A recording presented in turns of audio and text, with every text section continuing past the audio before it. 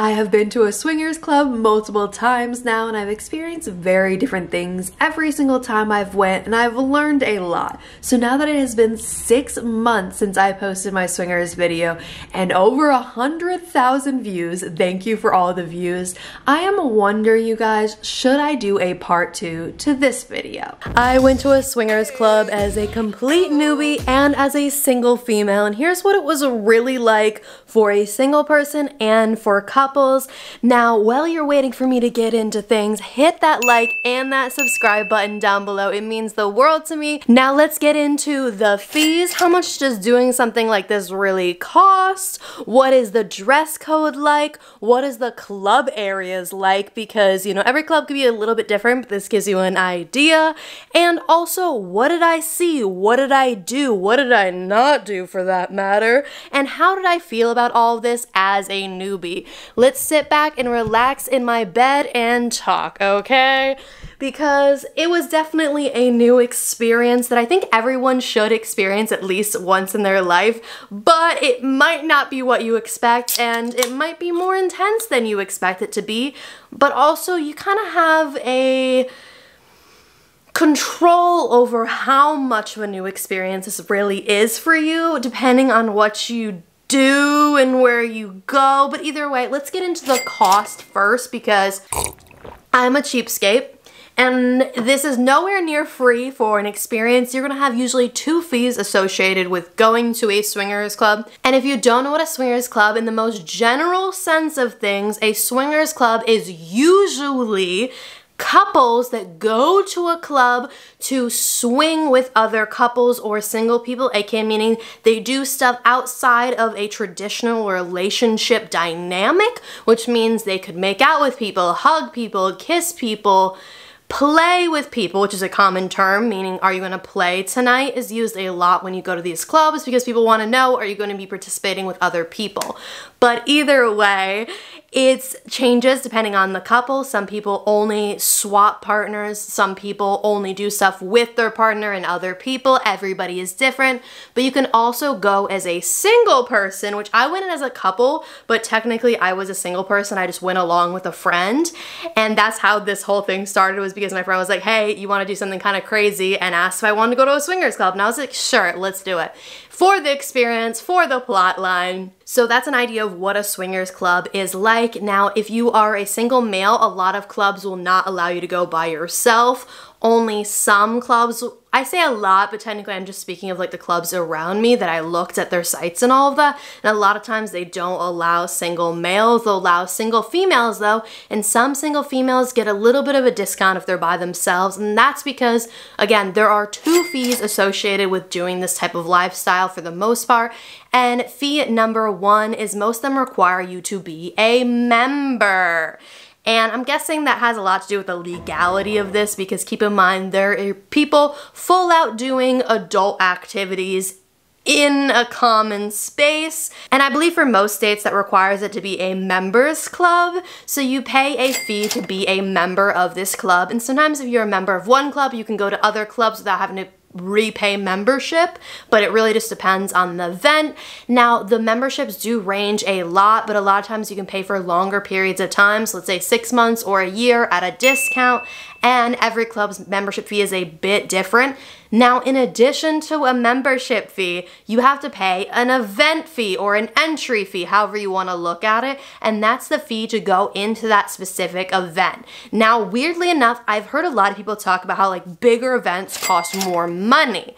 And I oddly went to a kind of larger event when I went, which is kind of funny for the first time. A lot of people like, you went to this for your first event? Like that's kind of crazy that you went to the, you know, bigger end of the spectrum instead of starting smaller. But either way, that event costs less than some of the smaller events that happen every single weekend. I was like, huh? That doesn't make much sense to me. Why is like that cheaper when it was a bigger event? But either way, I think our ticket was around a hundred bucks if I remember correctly. So about $50 each, which when you're considering that it doesn't include much besides entry, it's kind of an expensive thing to do, but it was definitely worth it for the new experience aspect of it.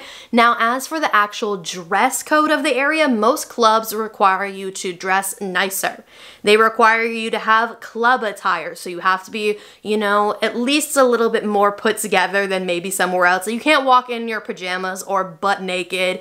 And the club I specifically went to allowed girls to be a bit more casual than guys. Like guys had to wear a nice button up shirt with sleeves and they couldn't wear shorts or I think there was like some jeans they could wear, some not. But either way, women were way less strict. You were allowed to enter in lingerie like full out lingerie. You didn't have to have nippies covered. You didn't have to have other things covered. So again, it really depends on the club because some clubs do require women to also wear like club attire where you're covered and then you could possibly take it off later, which we will talk about. And that's the idea of are you going to wear the same thing throughout the night? And for most people, including myself, the answer is no.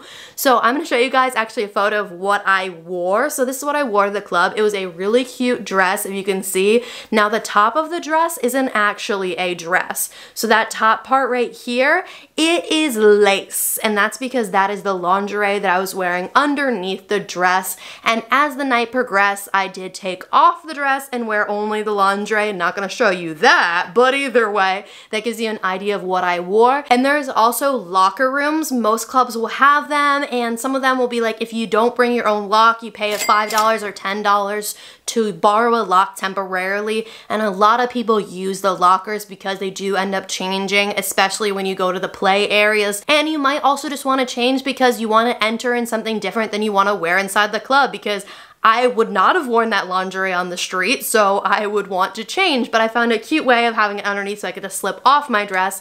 But if I decide to go to the club again, which we will get into how I feel about all of that, if I would go again, I would definitely bring, bring a bag and just completely change. So keep that in mind, most of them will have the locker room, so bring your own lock because then you save a little bit extra money, that five, ten dollars you have to pay to rent a lock. And now as for other attire that you might not think of that you could wear there, there are themed themed nights at a lot of these places. So you might wear everything from 4th of July attire to who knows what 70s attire, whatever it is. A lot of them do theme nights and some of them people participate in more than others. I think ours was a red, white, and blue theme or something.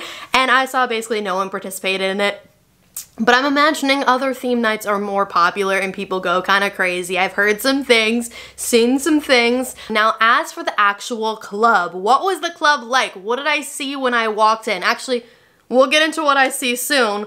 What was the just literal club like? Because as a person that I barely even go to regular clubs, let alone this kind of club. So I had no idea what to expect. Literally 0% expectation on what I was gonna see. I tried to look up photos online, but the one thing to note that I do very much appreciate that this club was a lot more strict than some of the other ones I've seen is that there is a phone policy and that's do not take your phone out and take photos or videos of people. This is a very intimate environment. This is an environment where people are wearing, saying, and doing things they wouldn't normally.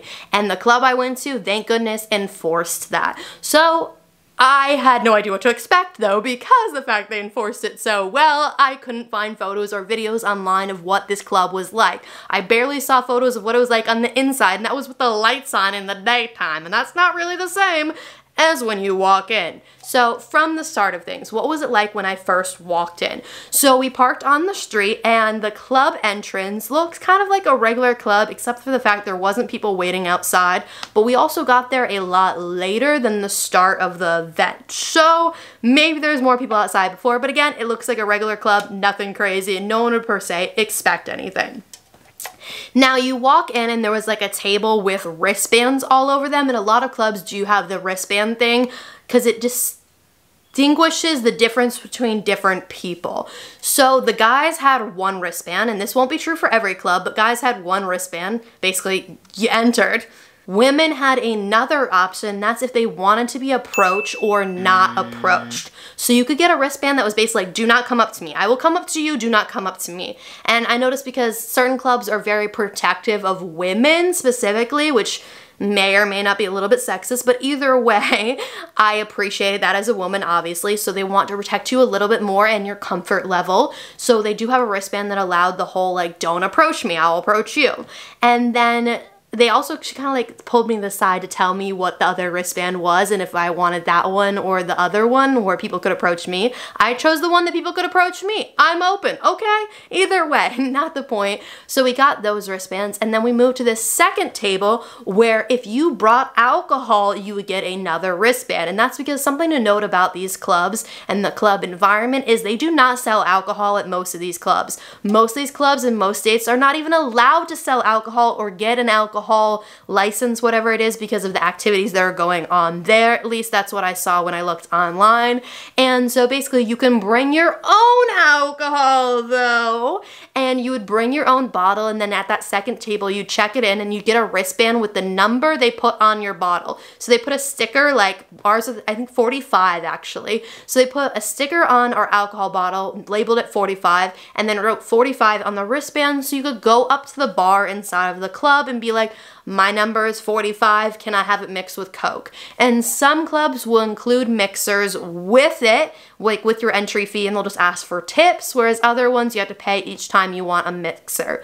Ours was you didn't have to pay for mixers, but the bartenders were very much like, you don't tip us, we're not happy.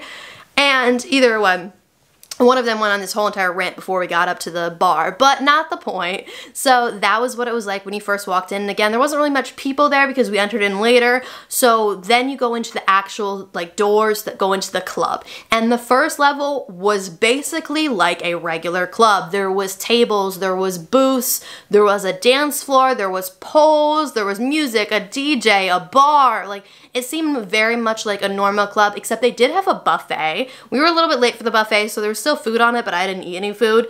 And again, because it's a newbie, I don't know, I just didn't feel comfortable per, like participating in everything, like the food and all that stuff. So point is, there was food and all that there. I'm not sure if every club does that.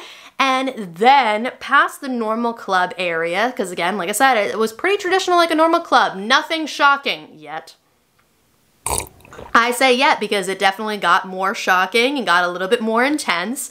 And it's hot in my room right now, so I guess this is perfect timing to talk about this. So when you go past the normal club area, to the left were bathrooms. Okay, pretty normal, right? There was, you know, separated bathrooms for male and female on this floor anyway. And then to the right was a little bit more interesting. There was lockers and then there was booths. Except the booths did not have tables and the seating part of the booth was wider and touching the other booths. So basically it was just like one big like booth couch like cubicle type thing. I don't even know how to describe it. And it was less intense in the beginning because nobody was in this area. So even though we entered a little bit late, it wasn't late enough that as much play was happening on this floor. Again, this floor. Earlier in the night, pretty tame on that floor. Same with the club floor, pretty tame. Most people were wearing most of their clothes. There wasn't anything really crazy going on, but again, it was earlier in the night, but later than the start of the nights.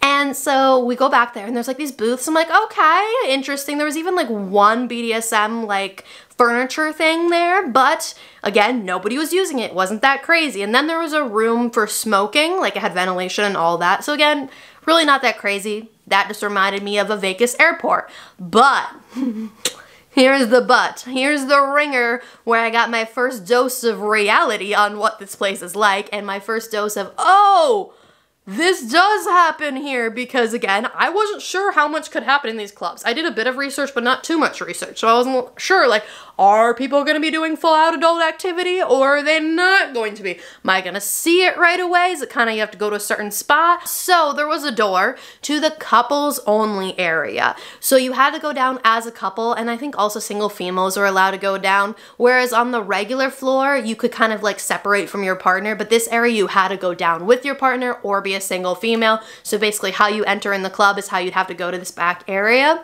And so they, we go, there's security at the door and we go through the doors and then we go down these stairs to go downstairs. And I'm like, okay, what am I gonna see? What am I gonna expect? And so we go down the stairs and then we turn and there's two beds. Two beds in the center of the room. They're kind of pushed together, but not like long ways pushed together. So they're still basically like two separate beds. And that's not the crazy part, but I'm just gonna give you a little, what do you call it? environment like imagination picture. Um i really should know the term i'm pretty sure in books you know what i mean? It's like the picture that i'm gonna put in your head the scenery i don't know. But either way there's two beds in the center and then there's couches surrounding the bed. And there wasn't too many people downstairs yet but the first thing i see when i turn my head around the corner is three adults playing. We're not going to get into too much detail because I do not want this video to be demonetized. I don't want it to be viewable for most of you to see it. But either way, there was three adults playing and you could see everything. All the adult activity, you could see it all. I wasn't per se expecting that in the center of the room. And I do think that there is an idea of the exhibitionist and voyeur type concept. Like, do you like to watch? Do you like to show off? There was a lot of opportunity for both of those things. And so I think those center beds were very much for the exhibitionist people. They're the people that want to put on a show. They want you to watch. They want to, uh, I don't know how to explain it in a more appropriate manner, but that's the best way to explain it. So that's what that center bed was. And this was earlier in the night and we saw stuff right away. It was two guys and a girl if you were curious, but not the point. There was also people sitting on the couches just sitting and watching. Or there was people sitting on the couches kissing each other. But either way, again, not as crazy as the rest of the night got. I feel like we're getting away from what the club was like and getting into more what I saw and what I did. So let's get back to the club. Then surrounding those couches were rooms, and all of the rooms had doors that locked. But if you left the door open, it was kind of like an invite, like, okay, you guys can come in, possibly play with us, or watch, or the door could close and then it would lock and then no one else could enter. They could only exit, but there was windows to all of those rooms. So none of them were fully private because at some point someone could watch if they wanted to. It's just sometimes it would just be from a distance through the window. And there was no actual rooms without windows that were completely private that I saw anyway. And then behind, like rooms surrounding like this, and then showers and bathrooms. But those bathrooms were co-ed. And so basically, I've never been in a co-ed bathroom before, so it's like, oh, there's a dude, there's a girl, there's a dude. Either way, there was that, and then there was co-ed showers, and the showers also had windows. I don't know if every club has showers, but I did appreciate that because if you can tell, I get sweaty easily, so I would probably take a shower there. But that is overall what the club was like. So now that we've started to merge into what I saw and what I did or didn't do, let's start from I don't know where. Oh, let's start from those center couches. So that was an idea of what I saw in the beginning. And in the beginning, no one was in those like surrounding rooms that were more private. They were just in that center bed, which I was surprised that there was a show right away. And that was the first thing I saw. Like that was a pretty, um, big start introduction to what downstairs was gonna be like or the private area. Had no slow introductions. It was, I saw right away what it was gonna be like. And then since we saw that, we stayed downstairs and we watched for a little bit. So yes, I did watch adult activities in person, but either way, then we would go back upstairs to the club level. And we kind of did that throughout the night where we sometimes we would go upstairs, sometimes we would go downstairs. There was couples that approached me and my friend and said, you know, do you want to play? Do you want to play with us? That type of thing.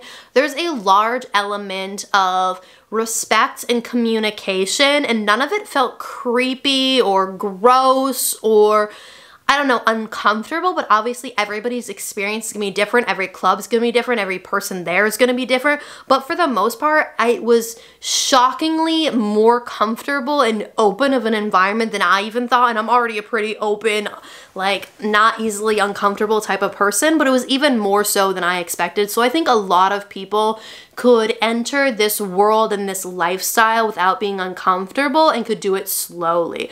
Because throughout the night, I watched. I did not play. We'll get into that in a second, but either way, you could go for the first time and not do any things. You could go to, for the first time and just stay on the club level and not go to the private areas. But I think you should go to the private areas and experience that because I definitely think it was a vital experience for me and it was definitely interesting. But oh, we'll go into how I felt in a second.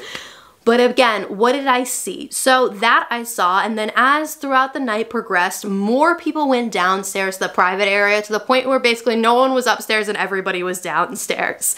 And so downstairs, as more people started cycling through, more things started happening in the private rooms and in the center stage too, but it was still basically like the same thing just different people, maybe multiple people. But as for the private rooms, that was a little bit more of an experience because there's not much room in these rooms. And I've heard some clubs don't have formal rooms, they'll just have curtains. This one had formal rooms. They were definitely built into the space, so like they don't fully touch the ceiling or the floor and like they're not real walls you can't like fully lean on them they'll move a little bit but again it was still pretty formal of a room in comparison to some places that have only curtains and don't even have another floor to go to so either way in these private rooms, there was adult activity and multiple things of adult activity going on. And maybe I'll do um, a non-PG-13 version of this video and talk about it more. If you have any questions, I'll answer them, but for now, I'm just keeping this base like PG. And so there was a lot of adult activity happening in those rooms and then it'd be beds where it would be three adults here, three adults here, three adults here, maybe four adults here. And sometimes they would cross over playing between each other. And so is that, and then the beds took up a majority of the room because again, like I said, they were small rooms. But there was enough room for a few people to stand around on the outside. And for the most part, people that were not in the bed were watching or trying to join in. There wasn't really much happening outside of the bed, so these rooms were small. So I would just go from room to room, watching this person, watching that person, maybe interacting with this person, talking to this person. And it was definitely an experience. I don't know how to express what that feels like to be able to just Look, watch, and see this and stare as much or as little as you'd like. Get as close or as far away as you want. You could stand in the corner and watch. You could stand literally a couple feet away and see it right here. So it's like you could do whatever felt comfortable and right for you. And there wasn't much people being like, what are you staring at or looking at or anything like that. There was only like one or two times where someone asked me if I was comfortable and they're like, oh, are you doing okay? Like thinking I was like shocked by it, but I'm just like, I'm in awe. I'm good. Don't worry about me. And that's basically like what I expect. I'm like, oh, okay, makes sense. Because I think it's just depending on your facial expression and your resting face, someone might offer condolences or not condolences that's not the right word offer basically like a lending ear or a shoulder if you felt uncomfortable but it wasn't like why are you staring? or something like that that you might think of if you ever snuck into someone's home and watched this obviously they'd be like what the hell are you doing? But here it's very normal. There is plenty of people throughout the night that weren't playing some by their own choice aka me some not by their own choice because they just didn't find other people they wanted to play with or other people that wanted to play with them so everything depended. But again, there was so much level of respect and comfortability there that I definitely think for most people you should experience it once in your life, but not if you're gonna be weird in this environment, make other people uncomfortable. Obviously, if you can blend in and take in the lifestyle, then I definitely think that you should try it out. But I definitely think if you are going to be judgmental, this is not the environment for you. And I very much appreciated that I did not run into judgment at all, even when plenty of couples came up to us and we denied them in a nice way. And they weren't mean about it. They were respectful about it and took the no and still conversated with us and it didn't make anything weird or uncomfortable. And like I got hugs, grabbed some but either way, that's an idea of what I saw. I could go into a lot more detail on what I saw, but that's not what this video is about. Just imagine every adult activity I saw. But as for the people there, again, most of them are couples. It doesn't mean they're playing with their couples. There's plenty of couples that will literally not see their partner until the end of the night.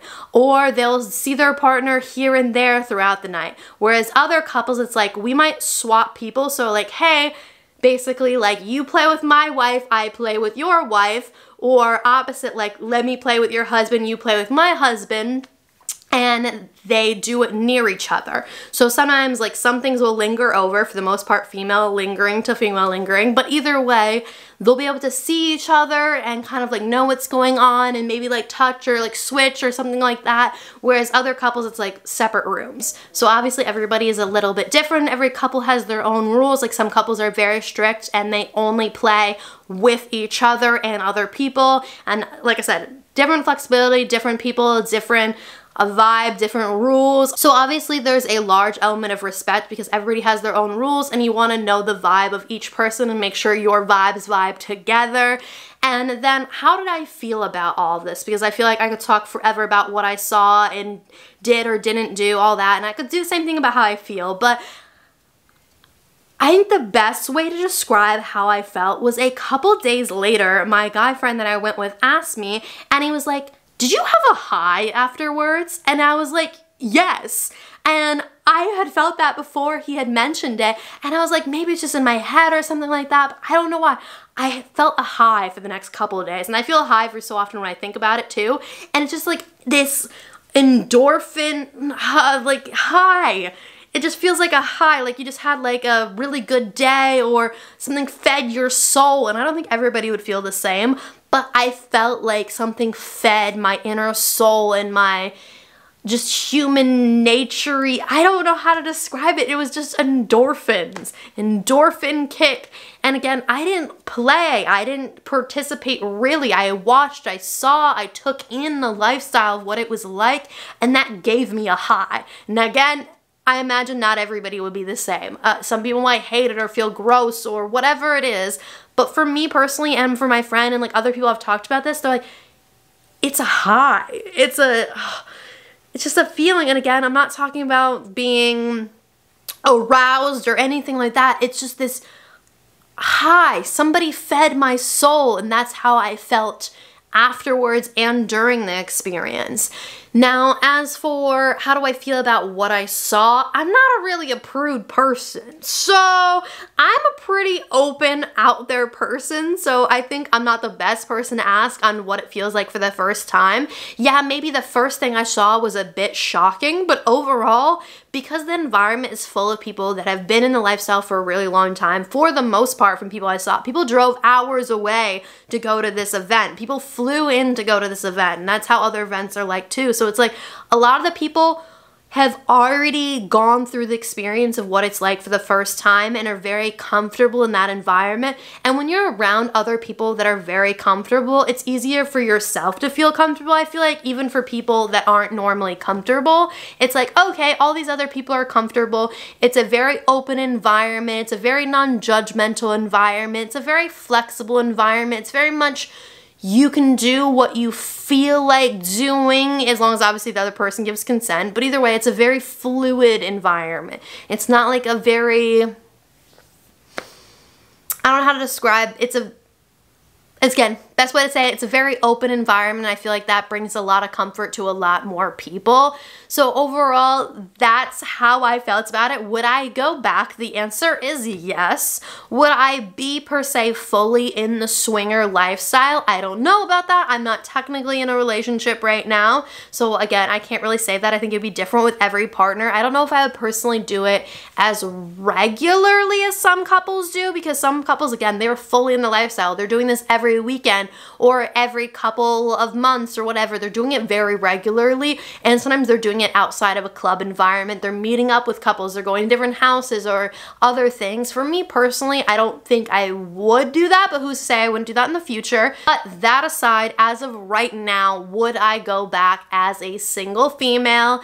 And the answer is yes. I don't know if I'd per se go back as an actual single female because I don't know, I don't per se want to be a unicorn.